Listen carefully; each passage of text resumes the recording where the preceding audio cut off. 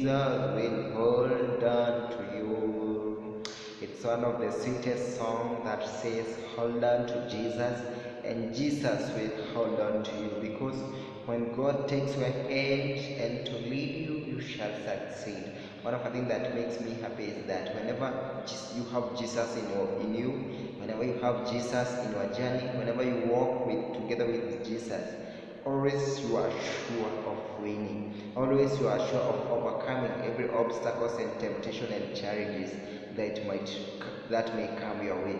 Remember the story of the disciple of Jesus whenever they were soaring in a boat and there was waves in the sea. Jesus was not away out of them, but he was within them, or he was with them. And like he, he seemed like he was asleep. That the disciples went to wake up. Oh teacher, we are we are we are the, the, the, the, waves are going to finish us or to kill us. But Jesus woke up and calmed the storm, and the storm obeyed him because he is the creator of the universe. Because Jesus, he is the Son of God, he is so powerful, he has been given the mandate and power of heaven. So, what I want to mean to you, what do I want to tell you?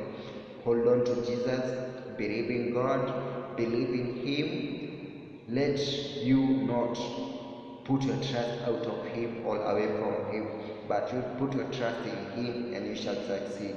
Make him your friend. What a friend we have in Jesus. Make him your friend. Make him your best friend. Whenever you are in a low mood, let him know. Whenever you are happy, let him know that you are grateful and thankful for the thing that he did for you. Sing unto glory. Sing praise for his name, and you shall succeed.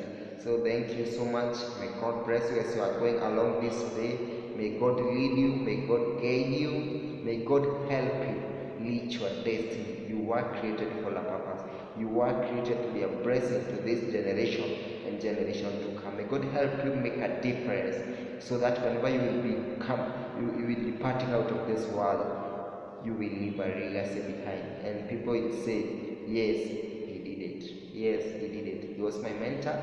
Was my role model, and I, am ready to copy him. So thank you so much, my fans. God bless you.